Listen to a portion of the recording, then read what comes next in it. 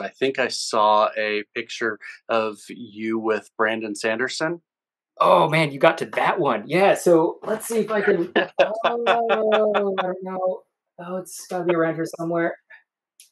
So there uh, yeah. So um, he's phenomenal, right? Like Mhm. such a great storyteller. And I had a I had a, a friend of mine tell me recently, like, get into the Stormlight trilogy, and I'm like, dude, I have no time because I know like if I get in, like, I won't be coming out, and I don't have time to like do a get in and come out. That's my wife. She's she's running through the camera there, uh, looking for the book. So I I read the Wheel of Time series and um and loved it. And of course, like um uh Brandon Sanderson finished the series, and so Mhm. when the last book was coming out, it was like right when I was finishing the series because I was a bit of a late adopter there, and uh, and so my pastor um, at at New Life Community Church, he was like, "Hey, I'm gonna go check out this uh, the, this this signing that we're doing. Do you want to come? I know you've been reading the series." And I was like, "Absolutely."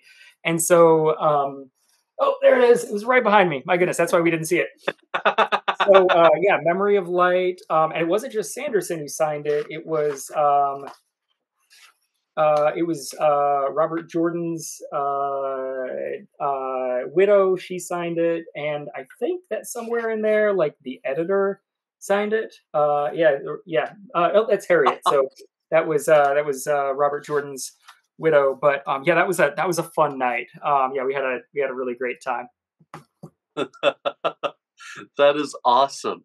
Um, yeah, I you referred to yourself as a late adopter to the series. I I probably started the series maybe two years ago, and I'm Okay, like yep. four or five books in. My wife is like eight books in. She started about the same time I did, Yeah. but um, Yeah, she's a faster reader than I am. They are behemoths. Um, I, I'm actually a terrible reader. I'm I'm atrocious. Uh, I I do most of my book intake through audiobooks. Um, I try to I try to get through like 75 to 100 books a year, and almost all of them are audiobooks played at like two to three and a half times speed. And so Mhm. I was able to crank through the Wheel of Time series within like a month and a half or two. One because the, the series is awesome, but but two because I'm listening to the whole thing at like two and a half times speed and working on like house projects or you know whatever it is I've got going on on the side. So um yeah, that like and that's one of the things that I learned like as a as a student as an author um I have to do my editing um basically like my best editing happens when I listen to a audio playback of my of my book which you know like text to speech um technology has been amazing for me because I'm like oh I can finally like hear what it sounds like like oh that like that rhymed it's not supposed to rhyme and I wouldn't have picked up on that like reading it with Mhm. my eyes I probably would have picked up on it reading with my voice but like I'll lose my voice if I keep doing that Oh yeah.